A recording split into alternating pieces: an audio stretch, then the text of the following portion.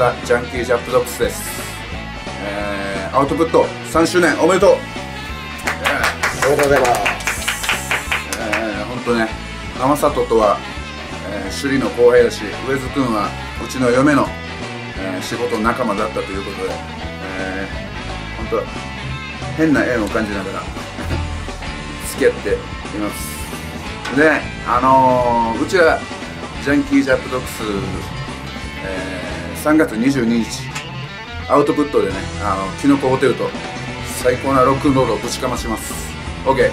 あの今日来てくれてる方あのロックンロールが見たいって方はねぜひ遊びに来てください、えー、俺たちはあのこれからも最高なロックンロールを紹介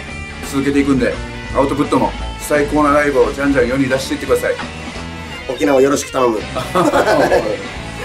バディ俺たちがジャンキージャップドックスだぜ。よろしく。OK